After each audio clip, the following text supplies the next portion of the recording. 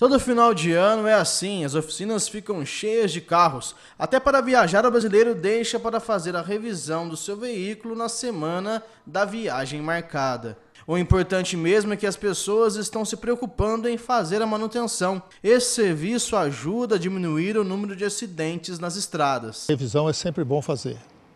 Nós costumamos, oficina Ecos de um modo geral, sempre leva o conhecimento dos clientes a entender melhor que uma revisão é o necessário, é o de menos custo possível.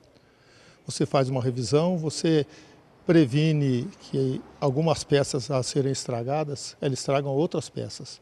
E com a revisão, você além de, de ter uma segurança maior com o veículo, o veículo não te dar problema, você tem a segurança de não estragar peças que poderiam durar muito mais tempo. Alexandre sabe que a revisão é fundamental, afinal, ter um carro não significa só andar e abastecer sempre que necessário. Requer alguns cuidados, uma atenção maior. Eu acho que é fundamental.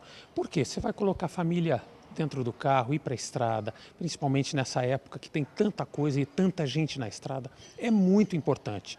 Por isso, a manutenção é fundamental. A tecnologia tem sido fundamental para um serviço mais ágil e eficiente nas oficinas. Este scanner, por exemplo, pode ser conectado em qualquer carro. Ele avisa quais defeitos foram detectados e, à medida que o mecânico vai realizando os reparos, as falhas mostradas desaparecem. É um diagnóstico interessante e um auxílio ou ferramenta a mais para encontrar os problemas nos veículos. Quando o cliente ele faz as revisões periódicas, nós fazemos uma revisão básica. Essa revisão básica seria os pontos básicos para que o veículo possa fazer uma viagem.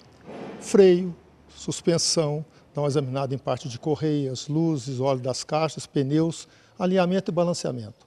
Com isso, o freguês está praticamente assim prevenido para sair numa estrada. O ideal seria fazer uma revisão a outra que nós chamamos uma revisão completa. Essa revisão faz um exame total do veículo, parte eletrônica, correia dentada, suspensão completa, freio completo, troca-se óleo das partes vencidas.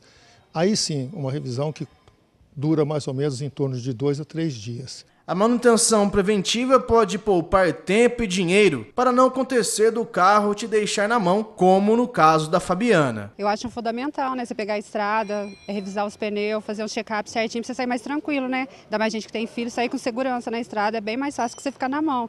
Igual eu tô agora, né? Fiquei, não fiz revisão, tô na mão. Isso mesmo.